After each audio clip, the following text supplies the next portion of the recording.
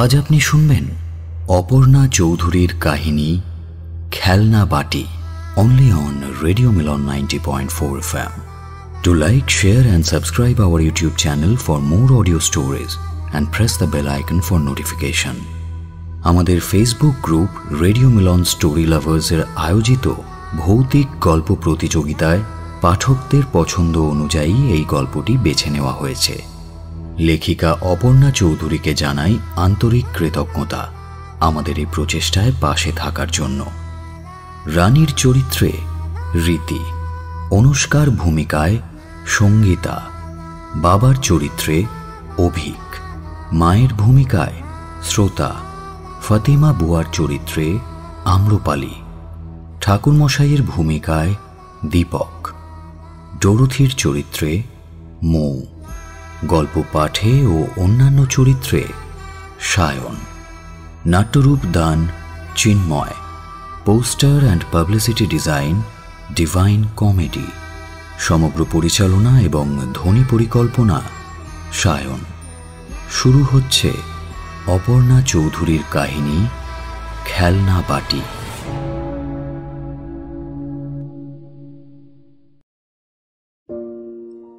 আইপ্যাডটা সঙ্গে নিয়ে অনুষ্কা পা টিপে টিপে বেরিয়ে এলো ঘর থেকে। এখন দুপুর দুটো। মা বাবা জেট ল্যাগের জন্য ঘুমোচ্ছেন অঘোরে। সেও ঘুমোচ্ছিল, কিন্তু হঠাৎই তার ঘুমটা কেন জানি ভেঙে গেল। এখন সে এই চৌধুরী বাড়িটাকে এক্সপ্লোর করে একটু দেখতে চায়।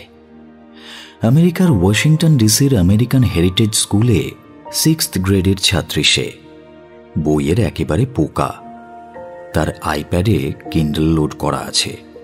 তাছাড়াও সে স্কুল লাইব্রেরি এবং লোকাল লাইব্রেরির মেম্বার। বাবা বা মা যদি তাকে কিছু কিনে দিতে চান, তবে তার প্রথম চয়েস হয় বই। তার বিশেষ করে ভালো লাগে ভূতের আর গোয়েন্দা গল্প। Famous five, Nancy Drew, Harry Potter, এমনকি সত্যজিৎ রায়ের ফেলুদার ইংরেজি অনুবাদও সে পড়ে ফেলেছে। এই এত বই পড়ার জন্যই বোধহয় এই বয়সে তার নাকের ওপর পুরো কাঁচের চশমা। বাংলাদেশে তারই প্রথম আশা।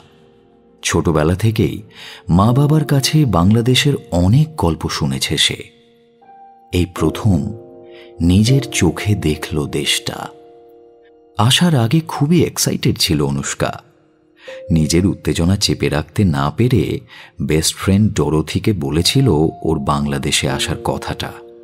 ওর কথা শুনে ডোরথি বলেছিল ইস আমি তো শুনেছি দেশটা খুব নোংরা আর বিচ্ছিরি। এদিকে ওদিকে পায়খানা আবর্জনা পড়ে থাকে। তুমি কি কখনো বাংলাদেশ দেখেছ? না দেখে কীভাবে বলছো? ডোরথির কথায় খুব রেগে গিয়েছিল অনুষ্কা কিন্তু মনে মনে ভয়ও পেয়েছিল। দেশটা তো সেও কখনো দেখেনি। আমার আঙ্কেল গিয়েছিলেন। তিনিই বলেছেন গরুর গাড়ি আর সাপুরের দেশ। এর কোনো জবাব অনুষ্কার কাছে ছিল না। শুধু রাগে অভিমানে কথা বলা বন্ধ করে দিয়েছিল সে। আসার সময় বাই পর্যন্ত বলা হয়নি। ভাবতে ভাবতে মনটা কেমন যেন ভারী হয়ে উঠল অনুষ্কার। কিন্তু ওরা যখন ঢাকা ইন্টারন্যাশনাল এয়ারপোর্ট থেকে ট্যাক্সি করে রওনা হলো, তখন ওর আর কোনো চিন্তা রইল না।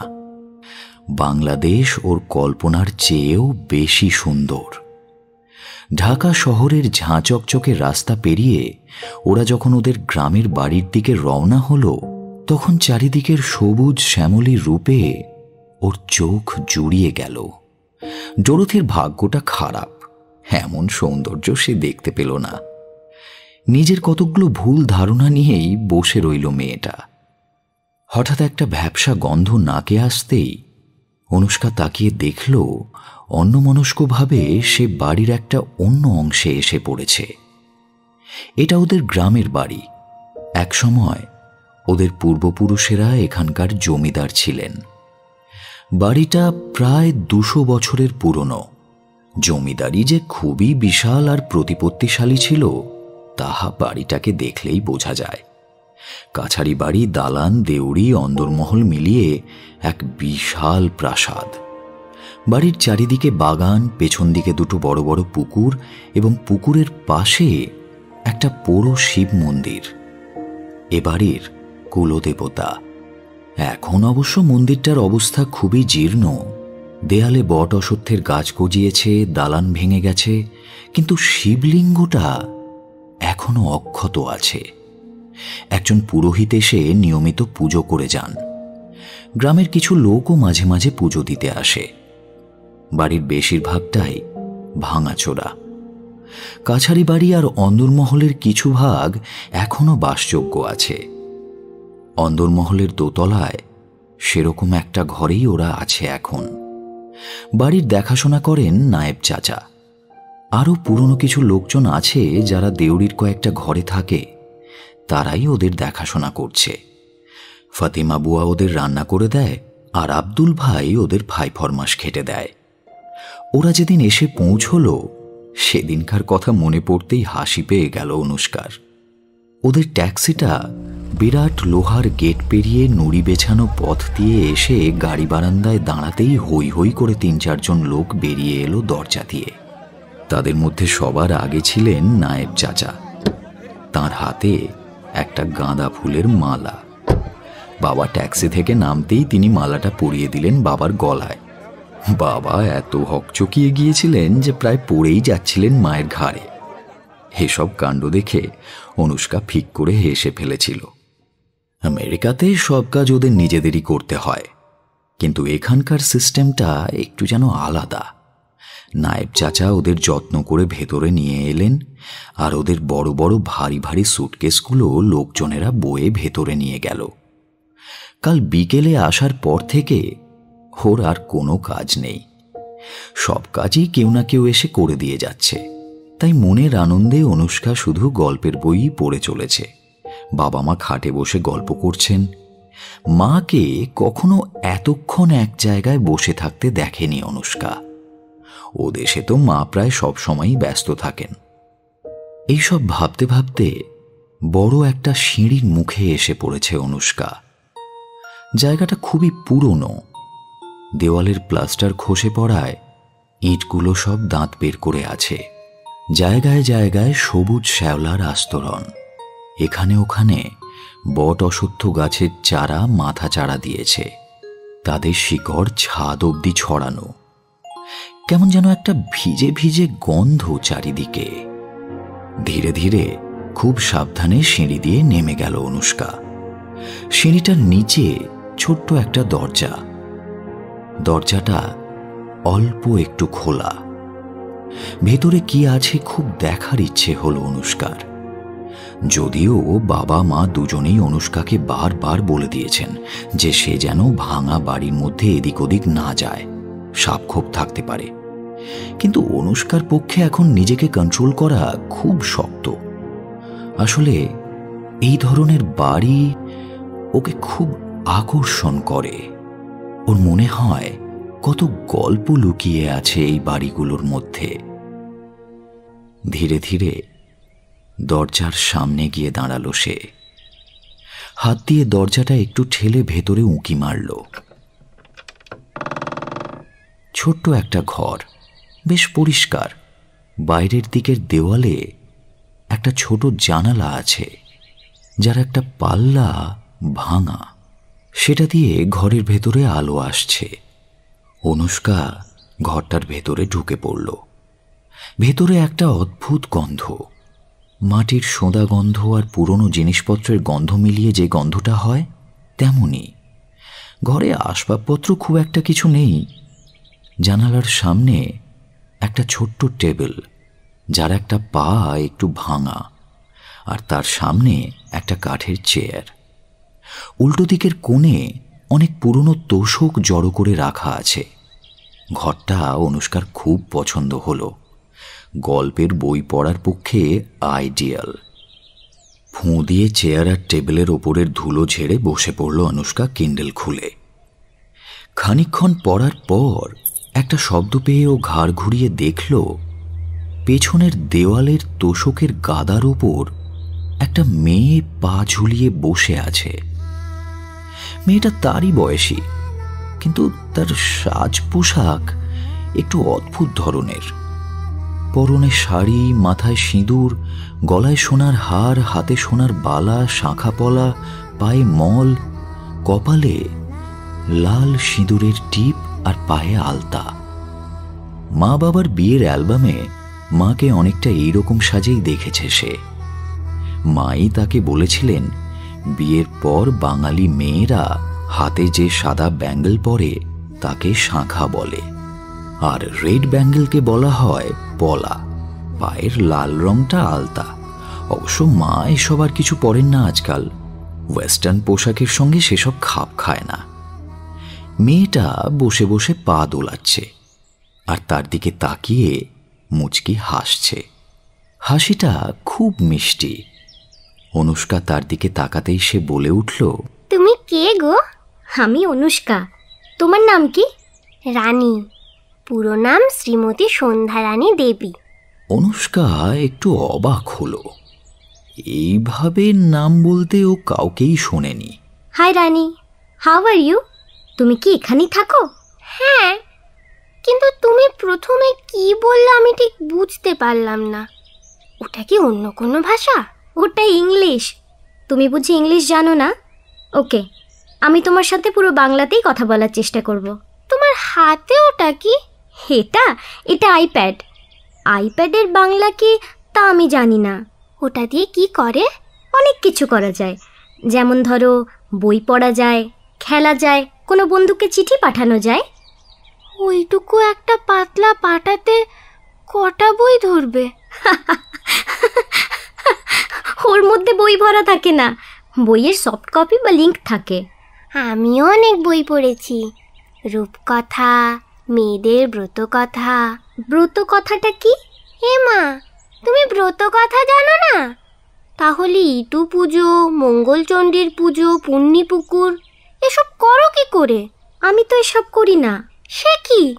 তাহলে তুমি কি করো? স্কুলে যাই সাঁতার শিখতে যাই সাইকেল চালাই বন্ধুদের সাথে হ্যাং আউট করি। বন্ধুদের সাথে কি করো? ও সরি মানে ক্ষমা করো। আসলে বন্ধুদের সাথে ঘুরে বেড়াই মজা করি। ও জানো তো আমারও না একটা সই ছিল। কমলা আমার গঙ্গা জল। সই কি? ও মা সই জানো না। সই হলো প্রাণের বন্ধু। আমরা দুই বন্ধু খিড়কি পুকুরে এক গলা জলে দাঁড়িয়ে আজলা ভরে জল নিয়ে প্রতিজ্ঞা করেছিল আমি মরলে ও কাঁদবে আর ও মরলে আমি কাঁদবো। ও কথা রেখেছিল। কিন্তু যাক সে কথা, তোমার সইয়ের নাম কি? আমার বেস্ট ফ্রেন্ড মানে সবচেয়ে প্রিয় বন্ধুর নাম ডরথি। কিন্তু এখানে আসার আগে আমার সাথে ওর ঝগড়া হয়ে গেছে। এখন ওর সাথে আর কথা বলছি না। ও বন্ধুদের মধ্যে ওরকম হয়। দেখো, সব ঠিক হয়ে যাবে। আরও কিছুক্ষণ হয়তো কথা হতো। কিন্তু হঠাৎ অনুষ্কা শুনতে পেল অনুয়াপা কোথায় গেলে? আব্দুল ভাই চিৎকার করে তার নাম ধরে ডাকছে। রানী এবার আমায় যেতে হবে। কাল আবার এই সময় আমি এখানে আসব তুমিও এসো। আচ্ছা কাল তোমাকে অনেক গল্প বলব এই বাড়িটার আর বাড়িটা ঘুরিয়েও দেখাবো। ঠিক আছে। অনুষ্কা ছুটে বেরিয়ে গেল ঘর থেকে। কোথায় ছিলে তুমি আপু? তোমারে খুঁজে খুঁজে আমি হয়রান হয়ে গেলাম হ্যাঁ? ঘাম মুছতে মুছতে বলল আব্দুল ভাই চলো তোমার হবে খুনি ভাবি খুব রাগ করছেন। তোমার না ঝোপে জঙ্গলে ঘুরতে মানা করছেন? ঝোপ জঙ্গলে কোথায়? আমি তো একটা ঘরের মধ্যে বসেছিলাম। এইসব পুরান দিনের বাসায় কত চোর কুটুরি আছে তলঘর আছে অলিগলি গোলক ধাঁধা আছে সেসব তুমি জানো? সেসবের মধ্যে একবার ফেঁসে গেলি না আর রোগকে নেই। তোমারে কেউ খুঁজাই পাইব না। তুমি জানো কোথায় চোরাঘর গোলক কুঠুরি এসব আছে? আরে গোলক কুটুরি নয় গোলক কুটুরি নয়। গোলক ধাঁধা আর চোর কুটুরি ওর অজ্ঞতায় হেসে ফেলল আব্দুল ভাই। না আমি সেসব দেই নাই। তবে গল্প শুনছি প্রায় দেড়শো বছর আগে এ বাড়িতে নাকি একবার ডাকাত পড়ছিল। হেকালের ওই বিখ্যাত কালু ডাকাত। ইয়া বড় তার চেহারা মিস কালো গায়ের রং। রন পইরা সে আর তার দল ডাকাতি করতে আসতো। রনপা কি? রন পা হইল ওই বাঁশের তৈরি লম্বা লম্বা পা। সেই পায়ে সইরা ওরা বড় বড় প্রান্তর পগার পার হইয়া যাইত। কারও কাছে ধরা খাইত না। জ্বরের বেগে চলতি পারত। পগার মানে? আহ পগার মানে হইল গিয়া গর্ত। আর গল্পটা কি শুনবা না শুনবা না? আচ্ছা আচ্ছা বলো। তা হেই যখন তারা হাড়ে রেড়ে কইরা আয়সা পড়ল তখন বাড়ির সবাই তাড়াতাড়ি সোনা দানা টেহা করি লইয়া ওই এক রকমের লুকানো ঘর আছে, তাতে ঢুইকা পড়ে।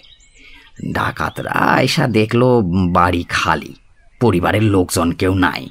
দু একজন পাইক বরকন্দাজ আর কয়েকজন চাকর বাকর ছিল। তারা সারা রাত তন্ন তন্ন করে খুঁজে দেখল। চাকর বাকরদের ধমক দু এক ঘা লাগাইয়াও দিল। আলমারি, দরজা, জানলা ভাঙা একাক্কার করল। পুরা বাড়ি লন্ডভন্ড কইরাও টেহা করি কিংবা কোনো দামি জিনিস খুঁজা পাইল না। শেষে হতাশ হইয়া ওদের খালি হাতেই যাইতে হলো পরদিন সকালে নায়েব মশাই আয়সা সেই ঘরের দরজা খুইলা দিলেন। তখন সবাই বাইরে আইল। এইসব লুকান ঘরের দরজা একবার ভিতর থেকে বন্ধ কইরা দিলে ভিতর হইতে আর খোলন যায় না। এমনকি ভিতরের আওয়াজ পর্যন্ত বাইরে শোনা যায় না। আর বন্ধ কইরা দিবার পর বাইরে থেকে দরজা খান দেখানো যায় না। যে জানে কোথায় দরজা আর এটা কীভাবে খুলতে হয় সেই কেবল দরজা খুলতে পারবে। বুঝছ? গল্প করতে করতে ওরা ওদের ঘরের সামনে এসে পড়েছিল। মা ঘর থেকে বেরিয়ে এসে বললেন কোথায় কোথায় ঘুরছিস সারাদিন? চিন্তা হয় না? জানিস তো এখানে সব জায়গায় মোবাইলে নেটওয়ার্ক পাওয়া যায় না। ফোন করেও যে জানব তুই কোথায় সেটাও সম্ভব না। যা ফ্রেশ হয়ে নে। আর কিছু খা। ওকে মামা। আইপ্যাডটা বিছানার ওপর রেখে বাথরুমের দিকে দৌড়ল অনুষ্কা। বিকেলের জল খাবার চিড়ে আর বাদাম ভাজা। ফাতিমা বুয়া ওটা দুর্দান্ত বানায়। বাবা মার সঙ্গে খেতে খেতে অনুষ্কা আব্দুল ভাইয়ের কাছে শোনা গল্পটা ওদের বলল। বাবা বললেন তুই তাহলে পুরো গল্পটা শুনিসনি। পরিবারের সবাই লোকায়নি। তাড়াহুড়োতে কেউ খেয়ালই করেনি যে বাড়ির ছোট বউ ঘরে ঢোকেনি। কিন্তু তখন বড্ড দেরি হয়ে গেছে। দরজা বন্ধ করা হয়ে গেছিল। কাজেই তাকে আর ডাকাও যায়নি। পরের দিন যখন তারা সবাই বাইরে বেরোলো তখন অনেক খোঁজাখুঁজি করেও তার কোনো খবর পাওয়া যায়নি। তখন সবাই ধরে নেয় ডাকাতরা তাকে নিশ্চয়ই তুলে নিয়ে গেছে। পুলিশ টুলিশেও খবর দেওয়া হয়নি? সে ব্যাপারে ঠিক জানি না নীলিমা। এই গল্প প্রায় দেড়শো বছর আগের। তখন কি হয়েছিল না হয়েছিল তা এখন বলা মুশকিল। তবে ছোট বউয়ের ঘরটা আজও রাখা আছে ঠিক আগের মতো। অনেকে নাকি ওই ঘর থেকে রাতে কোনো মেয়ের কান্নার আওয়াজ শুনতে পেয়েছে। তারপর থেকে ওই মহলে আর কেউ থাকে না। অনুষ্কার মনটা খুব খারাপ হয়ে গেল গল্পটা শুনে। তারপর ভাবল, কাল রানীকে জিজ্ঞেস করতে হবে। সারা সন্ধে অনুষ্কা বাবার সঙ্গে ওদের পরিবারের ইতিহাস আর এই বাড়ির নানা গল্প নিয়ে আলোচনা করতে লাগল। এই বাড়ির কোনো লুকোনো কুঠুরিতে গুপ্তধন লুকোনো আছে কিনা সে সম্বন্ধেও আলোচনা হলো। বাবা বললেন সেটা চান্স কম কারণ এই বাড়ির লোকজন হঠাৎ করে কেউ বাড়ি ছেড়ে যায়নি। সবাই নিজের ইচ্ছে বা প্রয়োজনে ডিসিশন নিয়ে বাড়ি ছেড়েছে। তাই যে যার জিনিসপত্র সঙ্গে করে গুছিয়েই নিয়ে গেছে। অনুষ্কা একটু দমে গেল। এইসব লোকানো ঘরটরের গল্প শুনে তার মনে একটা দৃঢ় বিশ্বাস জন্মেছিল যে এই বাড়িতে কোথাও না কোথাও লুকোনো ট্রেজার আছে। আর সেগুলো খোঁজার জন্য সে অনেক প্ল্যানও করে ফেলেছিল ইতিমধ্যে। যাক, সে সবার ভেবে লাভ নেই। কাল এই বাড়িটার নানা দিকের অনেক ফটোগ্রাফ তুলতে হবে তাকে। Class teacher Mrs Samuel specially বলে দিয়েছেন যে ওকে এই ভিজিটের ওপর একটা ক্লাস প্রজেক্ট করতে হবে। এইসব নানা কথা ভাবতে ভাবতে অনুষ্কা কখন ঘুমিয়ে পড়েছে সে নিজেও জানে না।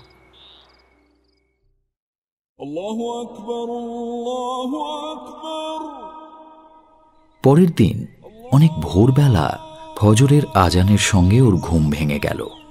ঘুমটা ভাঙতেই ও তাড়াতাড়ি চশমাটা চোখে লাগিয়ে ঘরের সামনের বারান্দাটায় এসে দাঁড়াল। সূর্য তখন উঠি উঠি করছে। পূর্ব দিকের আকাশটায় লাল রঙের ছোঁয়া লেগেছে। হালকা ঠান্ডা হাওয়া বইছে ফুরফুর করে। হাওয়াতে খুব সুন্দর একটা মিষ্টি গন্ধ ভেসে আসছে। গন্ধটা কোত্থেকে আসছে দেখার জন্য এদিক ওদিক তাকাতেই ও দেখল, ওর বারান্দার ঠিক নিচেই একটা গাছের রাশি রাশি সাদা ফুল ফুটে আছে। শুধু তাই নয়, গাছটার নিচে প্রচুর ফুলও পড়ে আছে। মাটিটা একেবারে সাদা হয়ে গেছে। আর ফাতিমা বুয়া সেই ফুলগুলো মাটি থেকে কুড়োচ্ছে। অনুষ্কা জিজ্ঞেস করল ওটা কি ফুল গো? শিউলি। এখন তো শরৎকাল এই সময় এই ফুল ফোটে। দাঁড়াও আমি আসছি আমিও কুড়োবো। অনুষ্কা নিচে নেমে এলো। তুমি আবার আইলা কেন? আমি তোমার উপরে দিয়ে আসতাম তুমি ঘরে রাইখা দিতে সারা ঘর গন্ধে ভইরা যাইতো। আচ্ছা বুয়া তুমি ওই ছোট বউয়ের গল্প জানো? হ্যাঁ তো সবাই জানে। বড় দুঃখের গল্প। কিছুই পায় নাই জীবনে বেচারি। তার আত্মা নাকি এখনও এই বাড়িতে থাকে। সে নাকি কাঁদে। হ্যাঁ গো দিদিমণি তার আত্মা এখনও এই বাড়িতেই থাকে। অনেকে তার কান্না শুনছে। তুমি শুনেছ সেই কান্না? আমি শুনি নাই। তাকে তো ডাকাতে তুলে নিয়ে গেছিল শুনলাম। তাহলে সে এখানে কেন কাঁদে? তা ডাকাতরে কি আর তারে আস্ত রাখছে। মায়েরা ফেলাইছে। মরণের পর মাইয়া মানুষের আত্মা নিজের বাড়ি আসব না তো কই যাইবো? সকাল থেকেই তার মনটা রানীর সঙ্গে দেখা করার জন্য উতলা হচ্ছিল। কিন্তু রানী তো আসবে সেই দুপুরবেলা। রানী কোথায় থাকে তাও জিজ্ঞেস করা হয়নি। আশেপাশের কোনো বাড়িতে হবে বোধ হয় এ বাড়িতে তো কখনো তাকে দেখেনি অনুষ্কা। তবে যা বিশাল বাড়ি, তার অর্ধেকও ঠিকমতো দেখা হয়নি ওর। আজ অবশ্য রানী দেখাবে বলেছে বাড়িটা ঘুরিয়ে। দেখা যাক কি হয়।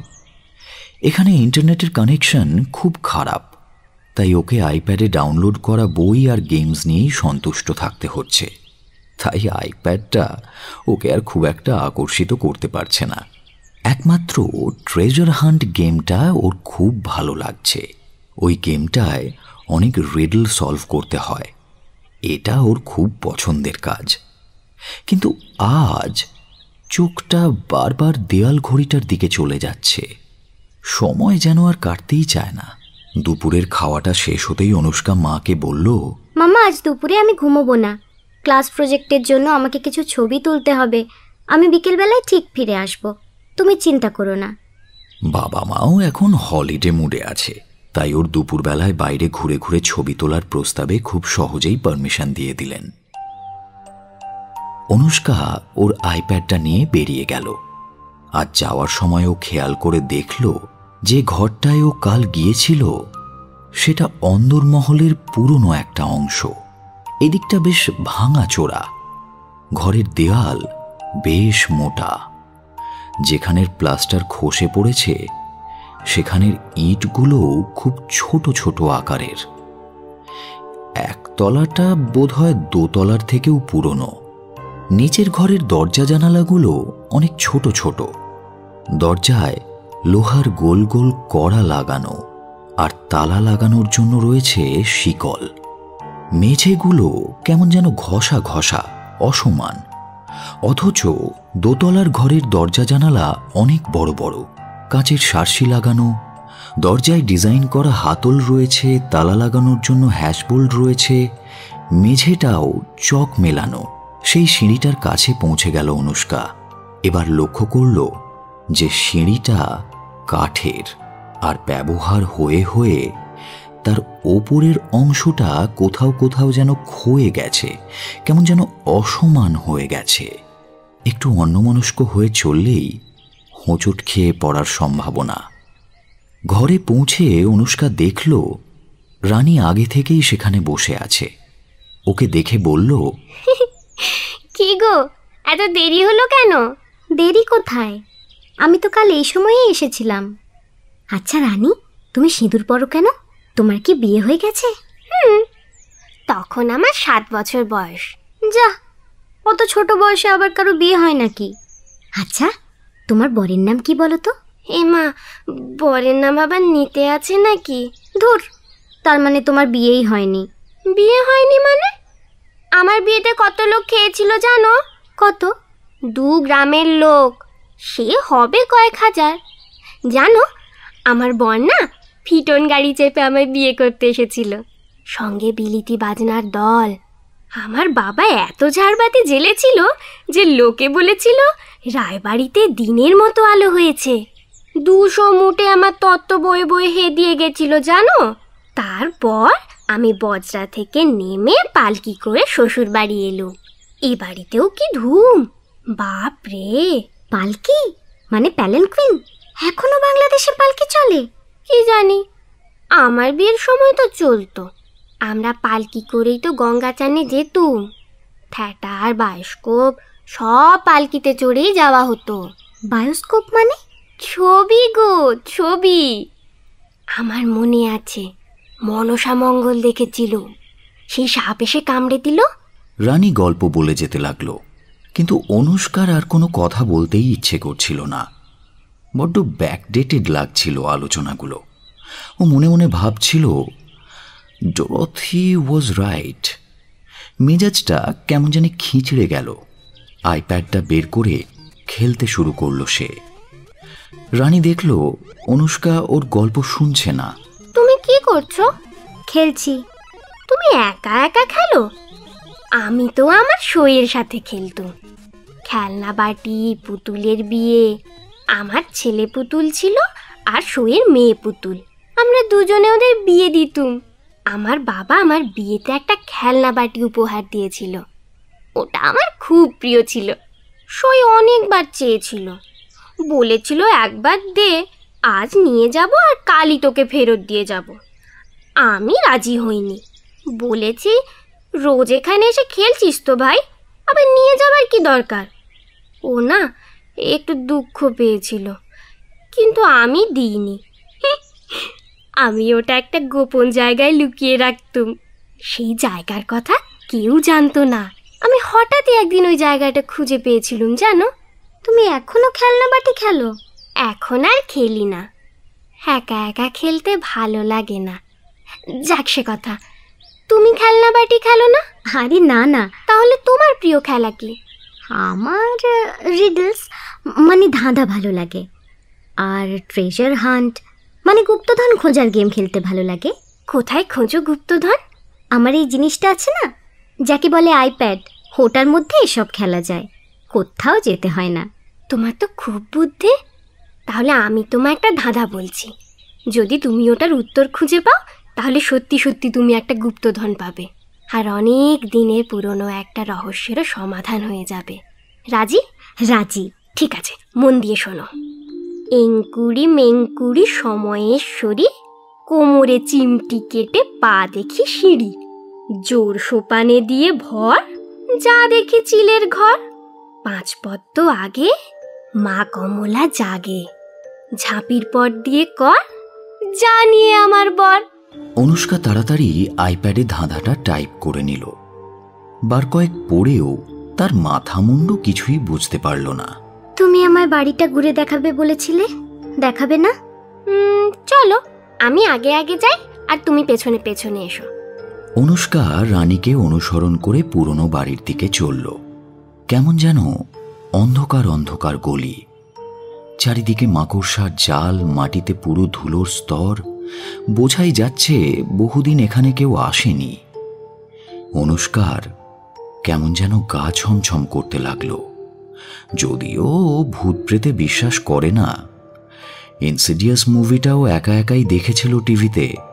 কিন্তু কাল বাবা আর বুয়ার কাছে শোনা গল্পগুলো বারবার ওর মনে পড়ছিল। দু তিনটে অন্ধকার অন্ধকার সরু গলি পেরিয়ে ওরা একটা খোলা উঠোনের মতো জায়গায় এসে পৌঁছল। উঠোনের মাঝখানে লোহার জাল দিয়ে ঢাকা একটা ইঁদারা। তার চারিদিকে পাথরে বাঁধানো খোলা উঠোন। মেঝের পাথরগুলো কেমন যেন এবড়ো খেবড়ো হয়ে গেছে। বোঝাই যায় অনেক পুরনো। তার মাঝখান থেকে গজিয়ে উঠেছে আকন্দ এবং নানা রকমের জংলি গাছ। সেই উঠোনের চারিদিকে বারান্দা আর বারান্দার পেছনের সারি দিয়ে ঘর। ওরা বারান্দা ধরে চলতে লাগল। ক্রমে তারা এক একটা ঘরের সামনে গিয়ে দাঁড়ায় আর সেই ঘর সম্বন্ধে গল্প বলে রানী। এটা ফুল ঠান্দির ঘর। অনুষ্কা সেই ঘরের ছবি তুলে নেয়। খুব ভালো গল্প বলতেন উনি। আর সবাইকে ওনার হাতের তৈরি নারকেল নাড়ু দিতেন। আর ওই কোণের ঘরটা? ওটা নিরুপিসির ঘর। উনি বাল বেদবা ছিলেন। কেউ ওনার ঘরের কাছে গেলেই গাল পারতেন আর সর্বক্ষণ গোবর জল ছড়া দিতেন। অনুষ্কার একটু অবাক লাগল। রানী জানলো কি করে।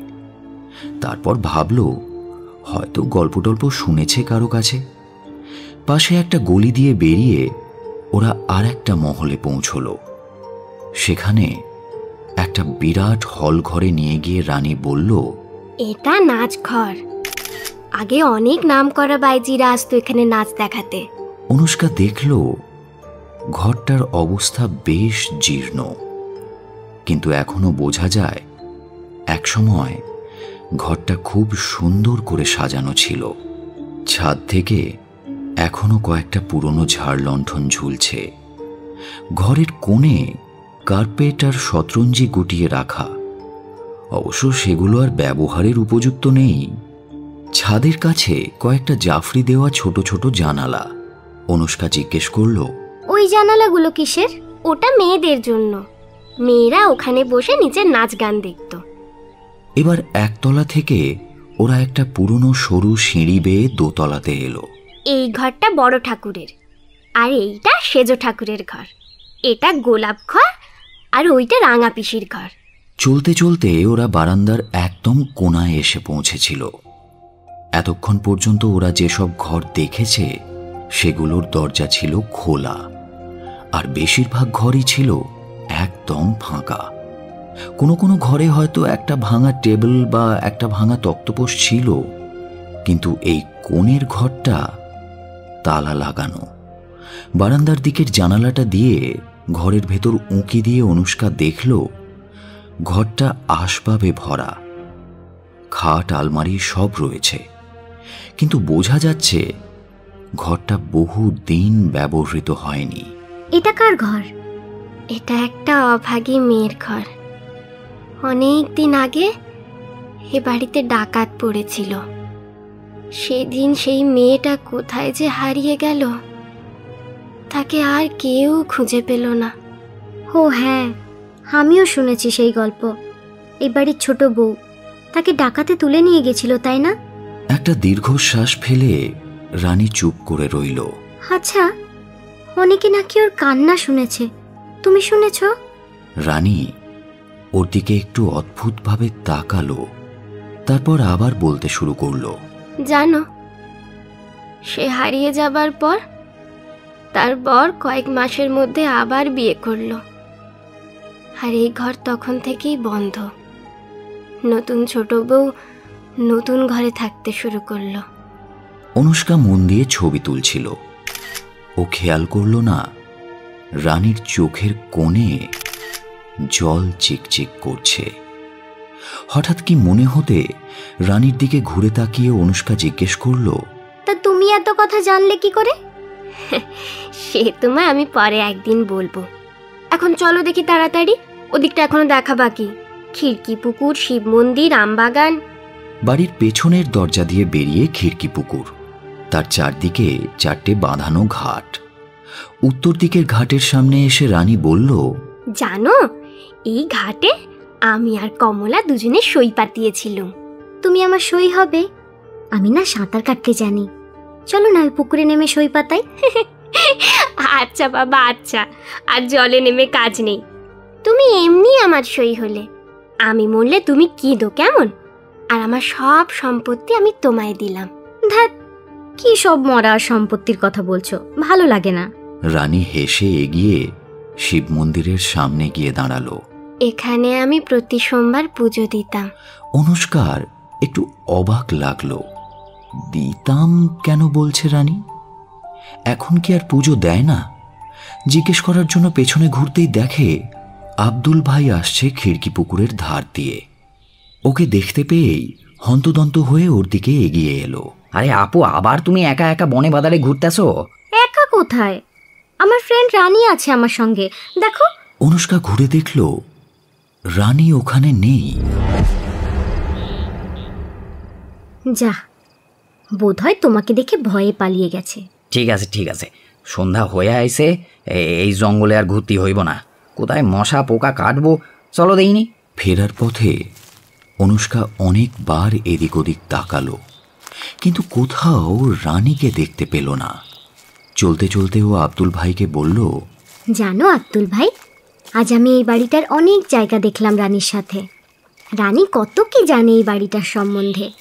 ও না আমাকে ওই মেয়েটার ঘর দেখাল জানো? কোন মায়াডার আরে সেই মেয়েটা গো যাকে ডাকাত তুলে নিয়ে গেছিল তার ঘর। সেখানে এখনও তার খাট আলমারি সব আছে। আব্দুল ভাই একবার অদ্ভুতভাবে তাকালো তার দিকে। তারপর কোনো কথা না বলে আরও জোরে জোরে চলতে লাগল। ওদের ঘরের সামনে পৌঁছে আব্দুল ভাই ওর মাকে ডাকলো। ভাবি ভাবি। মা ঘর থেকে বেরিয়ে এলেন। কি হয়েছে আব্দুল? আপু কিন্তু এই বাসায় এখানে সেখানে ঘুরতেছে। কে নাকি একটা ফ্রেন্ড হয়েছে আপনি বারণ করেন। এই এইসব জায়গা ভালো না। আমি আপনার কিন্তু আগে থেকে কইয়া দিতাছি পরে কিন্তু আমারে কোনো দোষ দিয়েন না। আচ্ছা। অনুষ্কার দিকে তাকিয়ে বললেন Anu I need to talk to you Abdul ভাই চলে যাওয়ার পর নীলিমা জিজ্ঞেস করলেন অনু আব্দুল ভাই কি বলছিল? কিছুই নয় মা। রানী ইজ মাই ফ্রেন্ড পাশেই থাকে। আমি ওকে বলেছিলাম আমার প্রজেক্টের জন্য কিছু ফটোগ্রাফ চাই তাই ও আমাকে একটু বাড়িটা ঘুরিয়ে দেখাচ্ছিল। আমি একা কোথাও যাইনি। জানো মা ও আমাকে কত অদ্ভুত জায়গা দেখাল। ওই পুরনো বাড়িতে এমন কয়েকটা দরজা আছে যেগুলো নকল। তুমি যদি দরজাটা খোলো তার পেছনে দেওয়াল। আর এমন কিছু দেওয়াল আছে যা সরে যায় তার পেছনে দরজা বাইরে থেকে বোঝাই যায় না। আমি সব ছবি তুলে এনেছি তুমি দেখবে? কই দেখা। অনুষ্কা তার তোলা ছবিগুলো মাকে দেখাতে দেখাতে অনর্গল গল্প বলে যেতে লাগল। সেই সব গল্প যা রানী ওকে বলেছে। মা ছবিগুলো মন দিয়ে দেখছিলেন। ছবিগুলো তো খুব ভালোই হয়েছে। আচ্ছা তুই তোর বন্ধুর একটাও ছবি তুলিসনি তো? চমকে উঠল অনুষ্কা। তাই তো? কোনো ছবিতেই তো রানীকে দেখতে পাওয়া যাচ্ছে না? ইস বড্ড ভুল হয়ে গেছে। কাল যখন দেখা হবে তখন মনে করে ওর একটা ছবি তুলতে হবে। ওকে চুপ করে যেতে দেখে মা বললেন তা তোমার এই বন্ধুটি থাকে কোথায়? কাছেই কোথাও? আমিও তো জানি না। জানো মা ও আমারই বয়সী কিন্তু ওর বিয়ে হয়ে গেছে। বাংলাদেশে মেয়েদের এত তাড়াতাড়ি বিয়ে হয়? না না এখন আর ওসব কিছু হয় না। সে অনেক দিন আগে হতো। ও বোধহয় মজা টজা করেছে। না মা ও আমাকে ওর বিয়ের গল্প বলছিল। ও জানো ও আমাকে একটা বেঙ্গলি রিডেল দিয়েছে সলভ করার জন্য। তোমার একটু হেল্প লাগবে। মা ডিনারের তদারক করতে রান্নাঘরে চলে গেলেন ফাতিমা বুয়ার কাছে।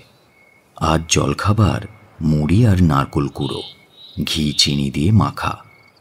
চামচ দিয়ে মুড়ি খেতে খেতে অনুষ্কা আবার তার ছবিগুলো দেখছিল।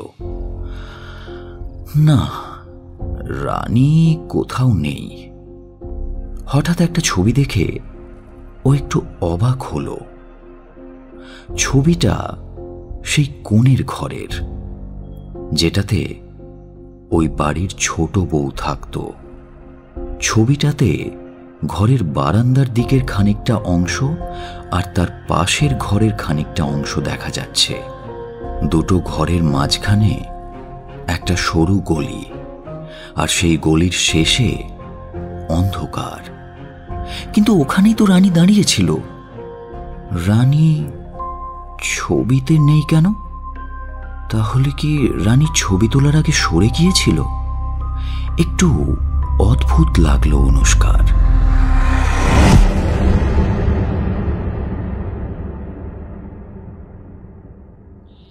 বাবা ফিরে এলেন সদর থেকে। বাবা আজ নায়েব চাচার সাথে জেলা শহরে গিয়েছিলেন কিসব কাজে। খুবই ক্লান্ত। তবুও অনুষ্কাকে দেখেই জিজ্ঞেস করলেন কিরে কেমন ছবি তোলা হলো? দারুণ হয়েছে। জানো বাবা আমার একটা বন্ধু হয়েছে রানী। সে আমাকে এই বাড়িটা ঘুরিয়ে দেখিয়েছে। ও আমাকে একটা রিডল সলভ করতে দিয়েছে। বলেছে যদি সলভ করতে পারি ও আমাকে দারুণ একটা প্রাইজ দেবে। তোমার হেল্প লাগবে। সে হবে ক্ষণ আফটার ডিনার ওকে বাবা। রাত্রে খাবার পর অনুষ্কা মা আর বাবাকে দেখাল কবিতাটা। এঙ্কুরি মেঙ্কুরি সময়েশ্বরী কোমরে চিমটি কেটে পা দেখি সিঁড়ি। জোড়া সোপানে দিয়ে ভর যা দেখি চিলের ঘর। পাঁচ পদ্ম আগে মা কমলা জাগে। ঝাঁপির পর দিয়ে কর যা নিয়ে আমার বর। হুম। বেশ শক্ত ধাঁধা। এই সময়েশ্বরী আবার কোন দেবী?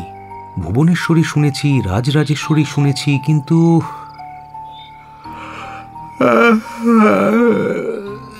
আজ খুব ক্লান্ত আর মাথাও কাজ করছে না। কিন্তু কাল আমি তোকে শিওর হেল্প করব। বাবা পাশ ফিরে ঘুমিয়ে পড়লেন। ও মা তুমি হেল্প না করলে আমি শিওর হেরে যাব। ঠিক আছে বাবা ঠিক আছে। প্রথম লাইন থেকে শুরু করি আমরা। এঙ্কুরি মেঙ্কুরি সময়েশ্বরী। সময় মানে তো টাইম আর ঈশ্বরী মানে দেবতা। সময়ের দেবতা সময়ের দেবতা time time time table time line time frame time clock আচ্ছা মা ঘড়িকে কি সময়েশ্বরী বলা যায়? হ্যাঁ বলা যেতে পারে। কিন্তু ওই বাড়িতে তো কোনো ঘড়ি দেখিনি। সে তুই হয়তো খেয়াল করিসনি। তা হতে পারে। জানো মা সেই ঘরটার কথা তোমায় বলেছিলাম না? সেই ঘরটায় অনেক ফার্নিচার আছে। হয়তো তার মধ্যে একটা ঘড়ি আছে আমি খেয়াল করিনি। কাল আমার সঙ্গে যাবে একবার ওই ঘরটায়? সে না হয় যাব। কিন্তু কোমরে চিমটি কি করে কাটবি? আমার মনে হয় ওখানে গেলেই সব ক্লিয়ার হয়ে যাবে। আচ্ছা তাই হবে। শুয়ে পড়তো এখন। মা আলো নিভিয়ে দিলেন। অনুষ্কার কেন যেন মনে হলো মা বাবা ওর কথাগুলো সিরিয়াসলি নিচ্ছেন না। কাল মা যদি না যায় তাহলে ও একাই যাবে। সেদিন মাঝরাতে অনুষ্কা শুনল কে যেন ওর নাম ধরে ডাকছে। ধরফর করে উঠে বসল সে। শুনল? দরজার বাইরে থেকে আসছে আওয়াজটা। গলার শটটা একেবারে রানীর মতো। একবার তাকিয়ে দেখল পাশের বিছানায় বাবা আর মা অঘোরে ঘুমোচ্ছে। ও চুপি চুপি বিছানার থেকে নেমে দরজা খুলে বাইরে এলো। বাইরেটা খুব অন্ধকার। আজ বোধ হয় নিউ মুন, তাই কিছু দেখা যাচ্ছে না।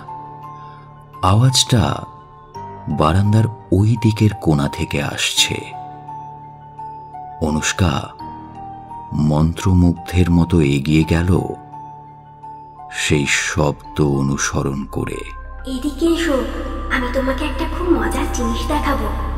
দেরি করো না, তাহলে কিন্তু আর দেখতে পাবে না।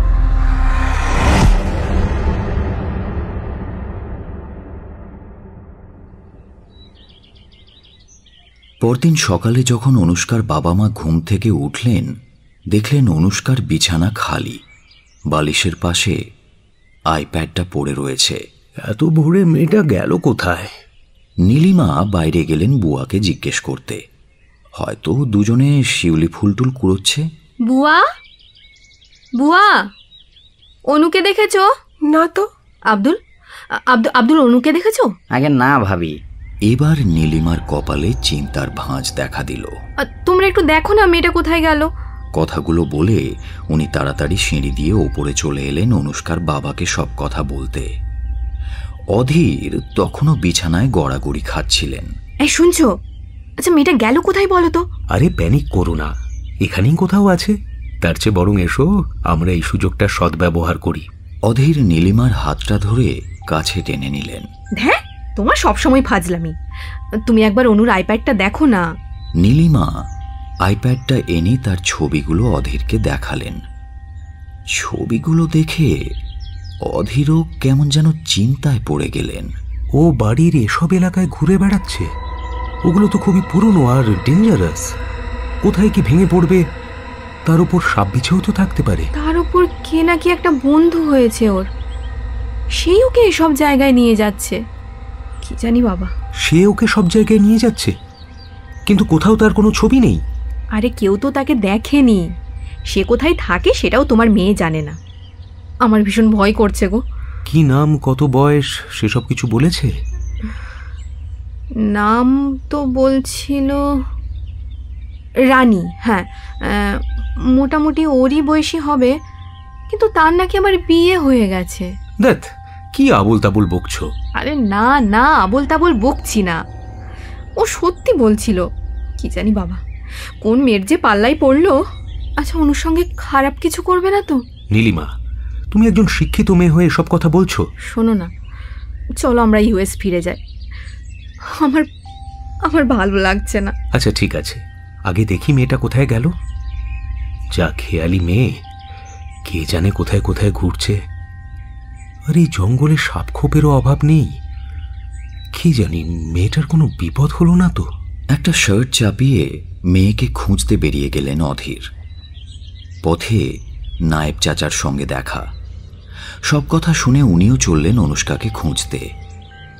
প্রায় ঘণ্টা দুয়েক খোঁজার পর অনুষ্কাকে পাওয়া গেল পুরনো বাড়িতে ছোট বউয়ের ঘরের বন্ধ দরজার সামনে অজ্ঞান অবস্থায়।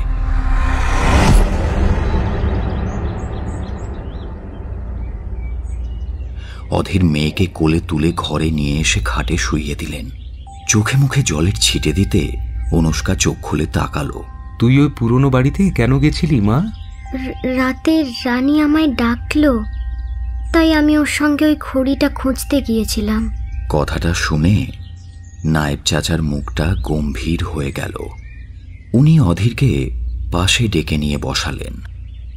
তারপর বললেন দেখুন আমি কিন্তু লক্ষণ খুব একটা ভালো বুঝছি না। আপনি যদি অনুমতি করেন তো হরেন ওঝাকে একবার ডেকে পাঠাই। দেখুন আমি একজন সায়েন্টিস্ট। আমি এসব ভূত প্রেতে বিশ্বাস করি না। আপনি যদি দয়া করে ডাক্তারবাবুকে ডেকে আনার ব্যবস্থা করেন তাহলে খুব ভালো হয়। নায়েব চাচা আর কোনো কথা না বলে নিঃশব্দে বিদায় নিলেন। কিছুক্ষণ বাদে ডাক্তারবাবুকে সঙ্গে নিয়ে ফিরে এলেন তিনি। ডাক্তারবাবু অনুষ্কাকে ভালো করে পরীক্ষা করে জানালেন, শরীর সুস্থ, শুধু রাতে ঘুম না হয় ও ক্লান্ত, ঘুমলেই সুস্থ হয়ে উঠবে, চিন্তার কিচ্ছু নেই। কিছু ওষুধ দিয়ে ডাক্তারবাবু চলে গেলেন। ডাক্তারবাবুর নির্দেশ মতো অনুষ্কাকে ওষুধ খাইয়ে ঘুম পাড়িয়ে দেওয়া হলো। সারা দিন সে ঘুমিয়েই রইল। তার ঘুম ভাঙল সন্ধ্যের দিকে। অধীর আর নীলিমা কাছেই ছিলেন। মেয়ের ঘুম ভাঙতেই ওরা কাছে গিয়ে বসলেন। এখন কেমন লাগছে মা? ভালো। এই নীলিমা ওকে একটু গরম দুধ টুধ দিতে বলো। নীলিমা দুধ আনতে বেরিয়ে গেলেন। আচ্ছা কাল তোর কি হয়েছিল বলতো? কাল রাতে রানী আমায় ডাকলো। তারপর? তারপর আমার আর কিছু মনে পড়ছে না। অনুষ্কা ক্লান্তভাবে কপালে হাত বোলালো। নীলিমা হাতে দুধের গ্লাস নিয়ে ভেতরে এলেন। সঙ্গে একজন বৃদ্ধ। বৃদ্ধের মাথার চুলগুলো সম্পূর্ণ সাদা। পরনে সাদা মলিন ধুতি আর চাদর। উনি হাত জোড় করে নমস্কার করে বললেন নায়েব চাচার কাছে শুনলাম যে আসুন আসুন। বড়বাবু আমি আপনাদের শিব মন্দিরের পুরোহিত। আপনি হয়তো আমাকে চেনেন না। না না চিনি। আপনাকে আমি দেখেছি। শুধু সামনাসামনি কথা হয়নি। তা এখন কেমন আছেন দিদিমণি? এখন অনেকটা সুস্থ। তবে একটু দুর্বল এই আর কি। পুরোহিত মশাই অনুষ্কার পাশে একবার বসলেন। তারপর অনুষ্কাকে খুব ভালো করে লক্ষ্য করলেন। তারপর বললেন দেখুন আমি জানি আপনারা ভূত প্রেত আত্মা এসব মানেন না। কিন্তু আমার কথা যদি শোনেন তাহলে আমি বলব আজ রাতটা আপনারা সাবধানে থাকবেন। ঠাকুর মশাইয়ের কথা শুনে সেদিন রাতে অনুষ্কাকে ওর বাবা মা নিজেদের মাঝে নিয়ে শুলেন। শুতেই অনুষ্কা ঘুমিয়ে পড়ল। বোধহয় ডাক্তারবাবুর দেওয়া ওষুধে ঘুমের ওষুধ আছে। মেয়ে ঘুমিয়ে পড়লেও বাবা মায়ের চোখে কিন্তু ঘুম নেই। দেওয়াল ঘড়িতে রাত বারোটা বাজল।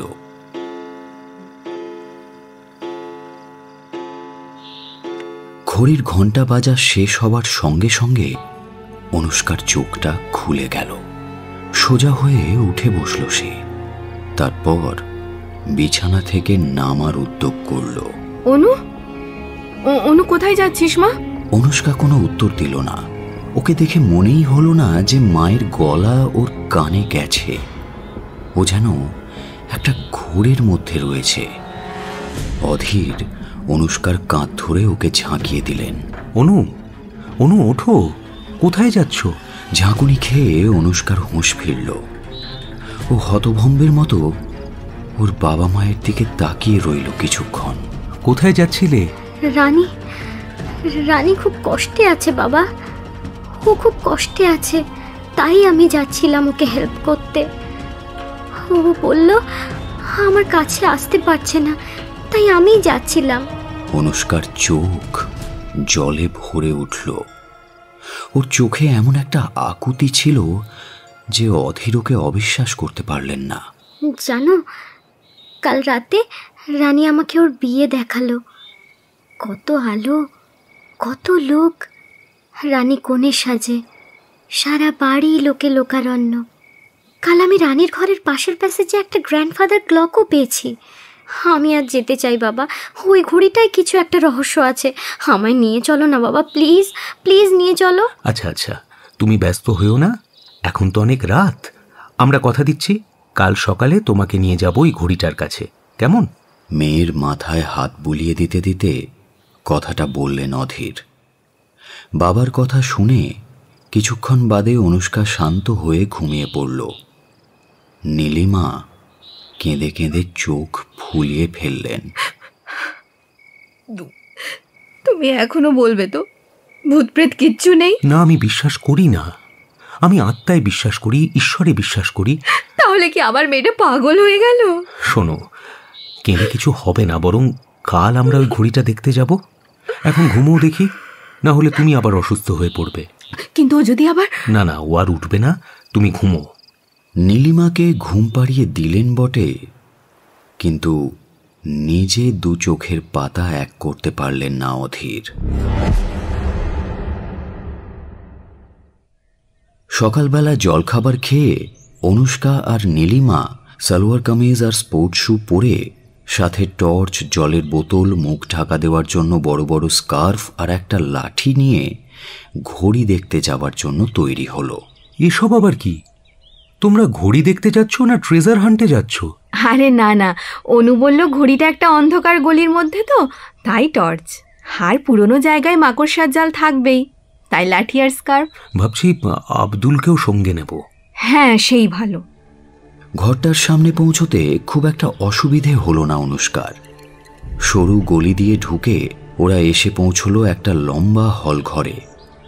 দেখা গেল সেই ঘরের শেষের দেওয়ালে সত্যিই দাঁড় করানো রয়েছে একটা গ্র্যান্ডফাদার ক্লক কাছে গিয়ে ওরা দেখল যে সেটা সাধারণ গ্র্যান্ডফাদার ক্লকের চেয়ে একটু বড়।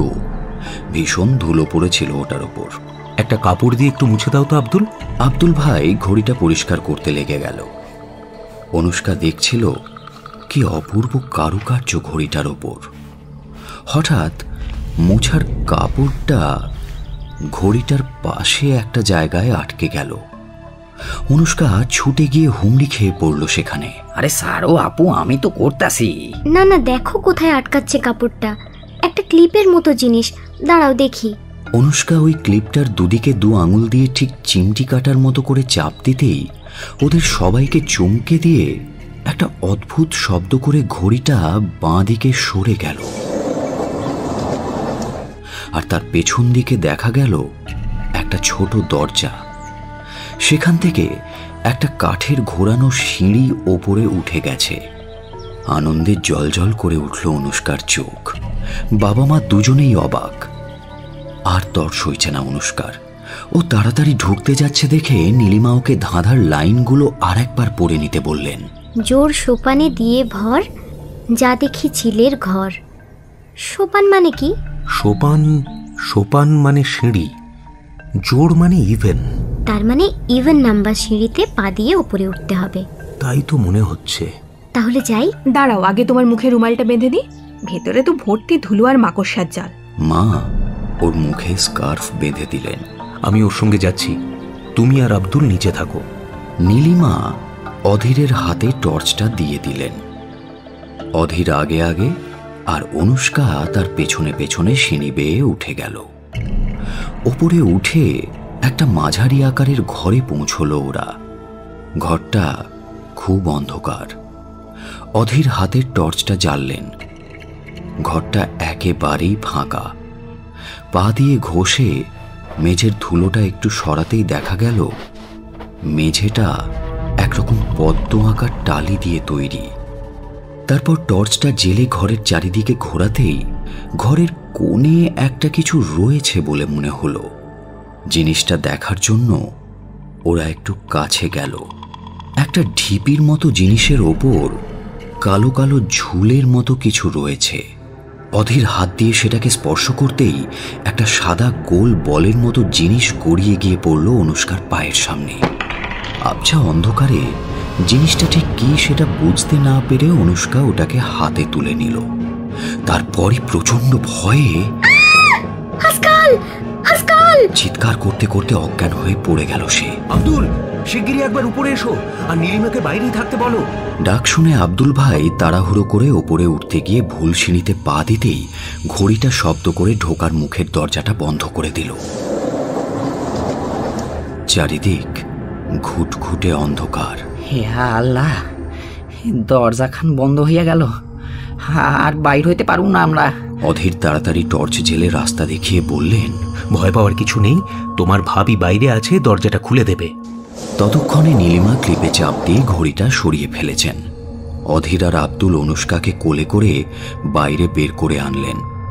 মুখে জলের ছিটে দিতে ওর জ্ঞান ফিরে এলো। ওটা কি ছিল বাবা? দাঁড়া দাঁড়া আগে আমি আর আব্দুল ওটাকে বাইরে নিয়ে আসি তারপর বলছি। চলো আব্দুল আমরা আর একবার ভেতরে যাই। সাবধানে ঠিক সিঁড়িতে পা দিয়ে দিয়ে ওরা পৌঁছে গেল ওপরে। ঘরের কোণে টর্চের আলো ফেলতেই কঙ্কালটা দেখা গেল। ভয়ে আঁতকে উঠল আব্দুল। কঙ্কালটা একটা দশ বারো বছরের মেয়ের। দেয়ালে পিঠ দিয়ে হাঁটুর ওপর মাথা দিয়ে বসেছিল। ওপরের কালো ঝুলের মতো জিনিসগুলো ছিল চুল। অধীরের হাত দেওয়াতে নড়ে গিয়ে খুলিটা পড়ে গিয়েছিল। বাকি কঙ্কালটা এখনও বসা। তার সারা গা গয়নায় ভর্তি। মেয়েটি মনে হয় এই ঘরে ঢুকে পড়েছিল কোনোভাবে। তারপর ভুল শ্রেণীতে পা দেওয়াতে দরজাটা বন্ধ হয়ে যায়। তাই আর বেরোতে পারেনি। তাই হইবে কর্তা। আব্দুল কঙ্কালটা কোলে নিয়ে নামতে পারবে তো? আব্দুল ঘাড় নাড়ল। মনে থাকে যেন একটা সিঁড়ি ছেড়ে ছেড়ে ওনারা কঙ্কালটাকে স্কার্ফ দিয়ে ভালো করে জড়িয়ে নিলেন। তারপর খুব সাবধানে বাইরে বের করে এনে মেঝের ওপর শুইয়ে দিলেন। কঙ্কালটার পরনে কাপড় তখন প্রায় কিছুই বাকি নেই, কিন্তু গয়নাগুলো এখনও অপরিবর্তিত। অনুষ্কা কাছে গিয়ে ভালো করে দেখেই চমকে উঠল। কঙ্কালটার গলায় হার হাতে বালা শাঁখা পলা পায়ে মল। মা এই গয়নাগুলো রানীর। ও সবসময় এই গয়নাগুলো পরে থাকতো। শুধু কানের দুল আর নাকের নোলকটা দেখতে পাচ্ছি না। ওইগুলাও আছে। এই দেখেন ওই জমিতে পয়রা ছিল। নোলক আর দুলগুলো এগিয়ে দিল আব্দুল। কি বলছিস তুই অনু? হেও কি সম্ভব? আব্দুল যাও তো। একবার নায়েব চাচাকে ডেকে আনো। মা রানী কত কষ্ট পেয়েছে। অনুষ্কা ওর মাকে জড়িয়ে ধরে কেঁদে উঠল। নীলিমা ওকে কি আর সান্ত্বনা দেবেন? ওনার নিজের চোখও জলে ভরে উঠেছে। ওনারই মেয়ের বয়সী একটা মেয়ে। এটা মন খারাপ করার সময় নয় অনু। তোমাকে ওনার দেওয়া ধাঁধাটাও তো সলভ করতে হবে। পরের লাইনটা কি? পাঁচ পদ্ম আগে মা কমলা জাগে। চোখ মুছতে মুছতে কথাটা বলল অনুষ্কা। তাহলে কি আমাদের আবার ভেতরে যেতে হবে বাবা? তা তো হবেই। চলো অধীর টর্চ হাতে উঠে পড়লেন। আবার ওরা গেল চিলেকোঠার ঘরে। সিঁড়িটা খুলেছে একদম ঘরের মাঝখানে। অনুষ্কা একটা একটা করে গুনে গুনে পাঁচটা পদ্মের ওপর পা দিয়ে এগোলো। কিন্তু পঞ্চম পদ্মে পা দিতেও কিছুই হলো না। বাবা আমি তো পাঁচ পদ্ম আগে গেলাম কিন্তু কিছুই তো হলো না। এই দাঁড়া দাঁড়া। সাধারণত এই ধরনের সংকেতে দিক নির্দেশও দেওয়া থাকে। পাঁচ পদ্ম আগে আগে মানে পূর্বেও হয়। তুই ফেরত আয়। ইস্ট কোনটা? অনুষ্কা তার সর্বক্ষণের সঙ্গী আইপ্যাডের কম্পাসে দেখে বলল ও ওইটা ইস্ট। এবার ও এগুলো পূর্ব দিকে। পূর্ব দিকে পঞ্চম পদ্মে পা দিতেই সশব্দে দেওয়ালের একটা ভাগ সরে গিয়ে একটা মা লক্ষ্মীর মূর্তি বেরিয়ে এলো। দেখ মিলে যাচ্ছে। আমরা ঠিক রাস্তায় চলেছি। মা কমলা মানে মা লক্ষ্মী। দাঁড়া দাঁড়া। এখনও কবিতাটা শেষ হয়নি। পরের লাইনটা কি? ঝাঁপির পর দিয়ে কর জানিয়ে আমার বর। আচ্ছা এটার মানে কি? কর মানে হাত আর বর মানে স্বামী বা আশীর্বাদ। আর ওইটা হলো লক্ষ্মীর ঝাঁপি। বুঝেছি। সে গিয়ে মা লক্ষ্মীর ঝাঁপিতে হাত দিয়ে একটা চাপ দিল। সঙ্গে সঙ্গে মূর্তিটা সরে গিয়ে বেরিয়ে এলো। পেছনে লুকোনো একটা কুলুঙ্গি। আর সেই কুলুঙ্গিতে পাওয়া গেল একটা বাক্স। অধীর বাক্সটা টেনে বের করে নিলেন। আর সঙ্গে সঙ্গে মা লক্ষ্মীর মূর্তিটাও নিজের জায়গায় ফিরে গেল। কি আছে এতে? বেশ ভারী তো। খুলে দেখি।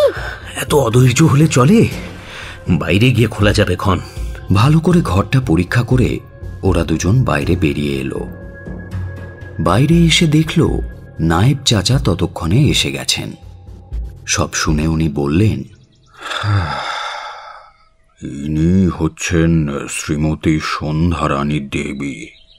মানে এ বাড়ির ছোট বৌরানী যাকে ডাকাত পড়ার পর আর কেউ খুঁজে পায়নি। উনি ছিলেন এ বাড়ির ছোট ছেলে শ্রীমান নবকুমার চৌধুরীর স্ত্রী। ছোট বৌরানী ছিলেন ওই কলকাতার পাশে হাওড়ার এক বিরাট জমিদার বাড়ির মেয়ে। আমি আমার বাপ ঠাকুরদার কাছে গল্প শুনেছি। যে সে বিয়ের মতো জাঁক জমক নাকি আর কোনোদিন কারও বিয়েতে হয়নি। কলকাতার থেকে বাজনদার গাইয়েরা সব এসেছিল।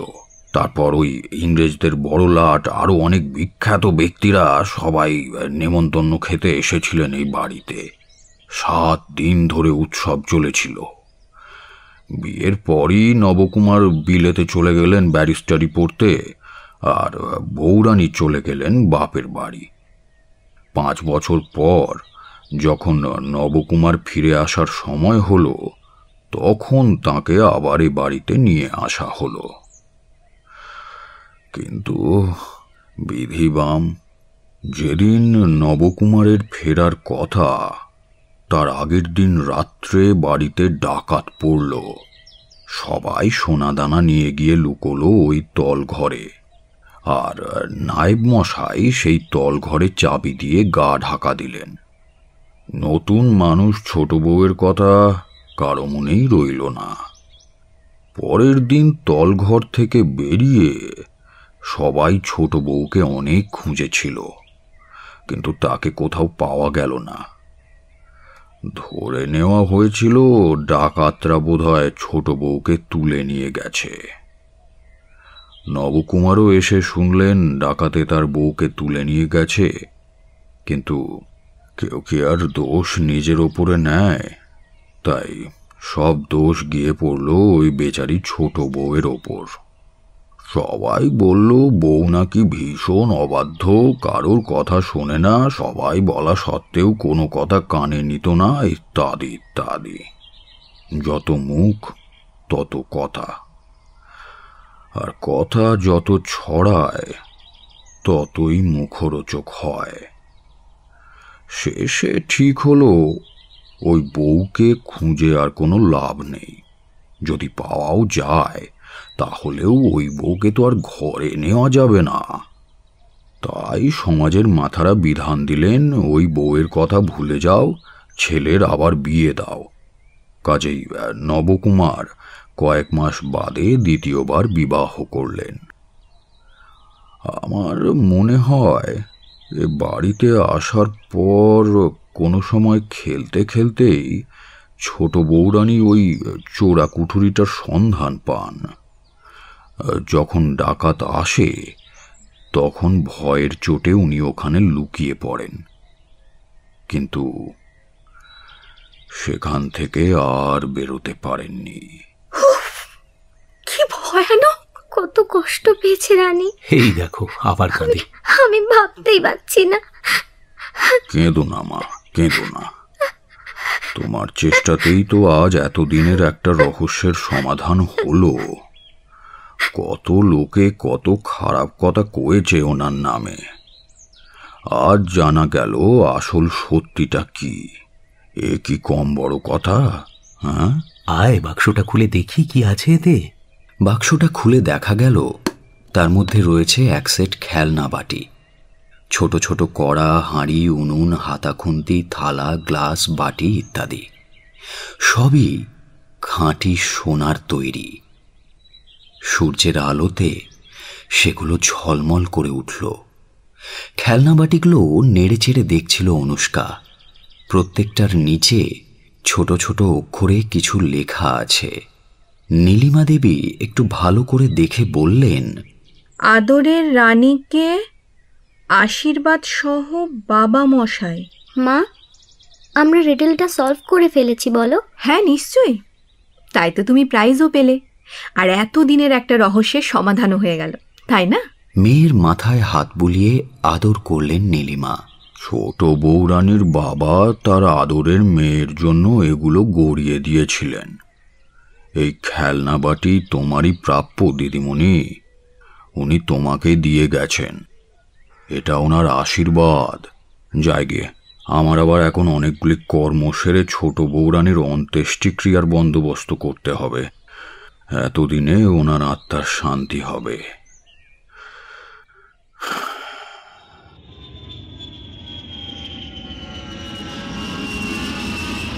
দিন পনেরো পর অনুষ্কারা চেপে বসল আমেরিকাগামী প্লেনে।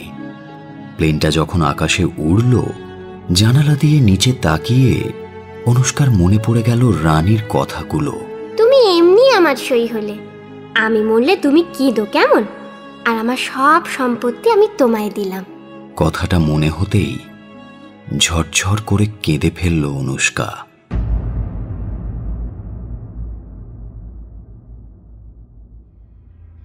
এতক্ষণ আপনি শুনছিলেন অপর্ণা চৌধুরীর কাহিনী খেলনা বাটি only on radio Milan ninety point four F M To like share and subscribe our YouTube channel for more audio stories and press the bell icon for notification.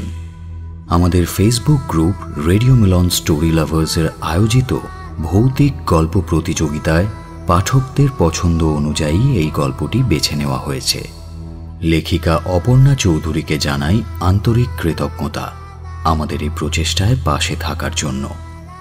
রানীর চরিত্রে রীতি, অনুষ্কার ভূমিকায় সঙ্গীতা, বাবার চরিত্রে অভিক, মায়ের ভূমিকায় শ্রোতা, ফতিমা বুয়ার চরিত্রে আম্রপালি, ঠাকুরমশাইয়ের ভূমিকায় দীপক, ডরুথির চরিত্রে মৌ।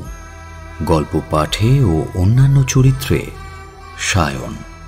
নাট্যরূপ দান Chinmoy. Poster and publicity design divine comedy. সমগ্র পরিচালনা এবং ধ্বনি পরিকল্পনা সায়ন। আগামী সপ্তাহে আরও একটি নতুন গল্প নিয়ে হাজির হব আমরা। শুনতে থাকুন radio Milan ninety point four F M.